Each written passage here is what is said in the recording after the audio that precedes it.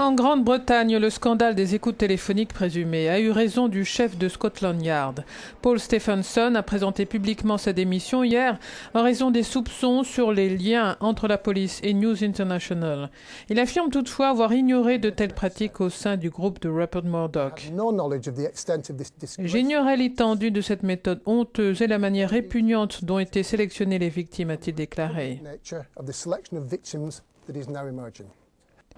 Accusé d'avoir traîné les pieds dans l'enquête, Scotland Yard a dû admettre tardivement avoir recruté Neil Wallis, un ex-dirigeant de News of the World, après son départ du tabloïd.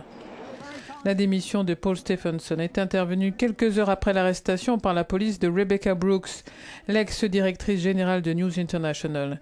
Elle affirme elle aussi qu'elle n'était pas au courant des écoutes illégales présumées. Rebecca Brooks a été libérée sous caution cette nuit. Le mania des médias Rupert Murdoch a poursuivi son mea culpa ce week-end dans la presse, promettant une entière coopération avec la police. Le scandale des écoutes téléphoniques a déjà entraîné la fermeture de son tabloïd. Il l'a aussi contraint à renoncer à son projet de rachat du bouquet satellite B-Sky B.